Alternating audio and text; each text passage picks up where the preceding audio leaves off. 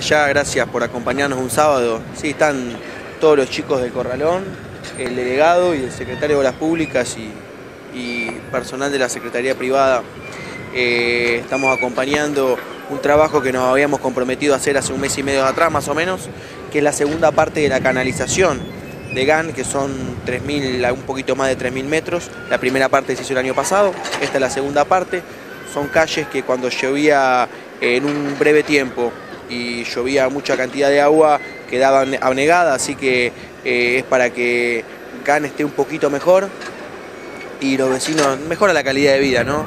Este, y ya ahora a la tarde después nos volvemos para Salto. Este, así que seguir trabajando, eh, hoy sábado, seguir trabajando con, la verdad que los chicos están haciendo un trabajo bárbaro, lo podrás ver. Eh, y, decirle a los vecinos, eh, sabemos este último mes y medio, la verdad que cada cuatro o cinco días ha, llovido y nos está parando un poco el trabajo, que tengan paciencia, tenemos una cantidad de reclamos de calle, Rebagliati, Vicente Pelliza, atrás de defensores, eh, Agente Cepeda, Arufe, que tenemos todas esas calles para seguir trabajando, que la vamos a ir avanzando en el transcurso eh, de esta semana. Pero si llueve se nos está haciendo muy complicado seguir con el trabajo. Así que eh, vamos a seguir trabajando y el martes vamos a estar con Coli este, en la segunda parte del, desagüe pluvial en Balaco, que es una obra de cerca de 60 millones de pesos. ¿no? Así que Nada, vienen una cantidad de obras de cara a, fin de año, ha terminado la campaña electoral, pero para nosotros eh, es seguir trabajando, que me parece que todos deberían hacer lo mismo, ¿no? Este, seguir trabajando.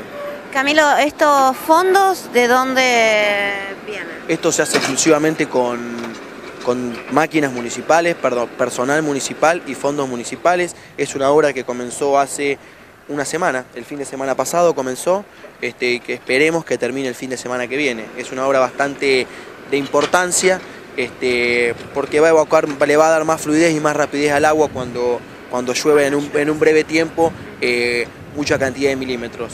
Así que estamos contentos porque seguimos avanzando. Preguntarle al delegado, ¿esto provocaba que se anegue toda la parte céntrica? Exactamente, no bien así, eh, no, no, no cocinaba inundaciones, esta parte, como se hizo el año pasado, que la parte céntrica así se inundaba, bueno, se, llegó a destapar todo y quedaba pendiente esta parte. Gracias a Dios, muchachos con predisposición, trabajando, no hay día para trabajar, como verán, se trabaja todos los días, bueno, se llegó a un acuerdo con ellos y vienen a trabajar como corresponde. Así que la verdad que muchísimas gracias. Bueno, eh, Coli, viendo las obras y que realmente se sigue avanzando. No, trabajar es la premisa que tiene el señor Intendente, Camilo, todo el gabinete, elaborar día a día y seguir avanzando quizá con pocos recursos, que es cierto, pero con mucha voluntad. Y esto lo demuestra, los chicos del Corralón mañana van a trabajar, hoy están trabajando, las máquinas están todas acá, y el lunes volveremos a Salto con las máquinas y trabajando. Es la premisa del intendente y de Camilo que le son la sombra. Muchísimas gracias. ¿eh? gracias